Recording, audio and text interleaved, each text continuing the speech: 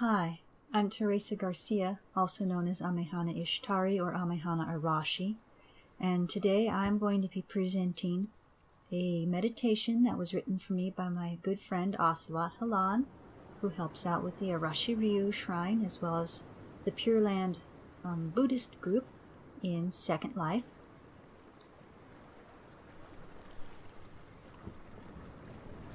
First, let's focus on purification. As we sit, feel the gentle rains of Okinawa rinse away all impurity and pain. Let it soak through you, cleansing to your core. Feel free to take a moment to fully experience this.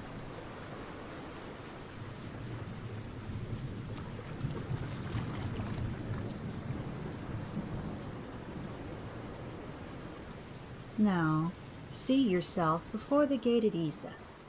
You are barefoot and you feel the cool, smooth rocks below you. The sea is stormy and the sky a light gray, as the ocean froths and laps against the rock happily. It is in this setting that you can do anything. You can ride with the storm if you please, or continue walking into the ocean and frolic within her depths as the currents roll this way and that. Take whichever path you would like, or feel free to even stay on the shore, watching the sea and sky, calmed by the scene.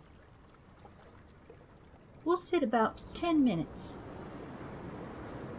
I'll ring a bell at the end, but feel free to ignore it if you aren't done. Return to the shore if you have left it, only when you are ready.